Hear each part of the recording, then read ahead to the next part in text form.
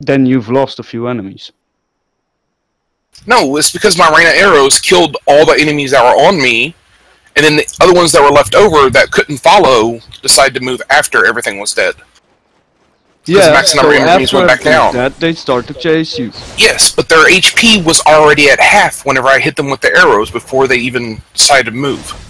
Like my volley of arrows hits That 30, means 40 that- different targets. Yeah, because you are a ranger, you do AOE damage. Yeah. Once you kill, for example, let's say you can attract seven seven enemies. Yeah. So you attract seven enemies. The eighth enemy, yeah, you don't do damage to. That's what I'm saying. Oh, I, I So, will do damage. Hold on, no. hold on, hold on. Hold on, hold on. So you got seven enemies, yeah? You do an AoE attack, you accidentally... Let's... What?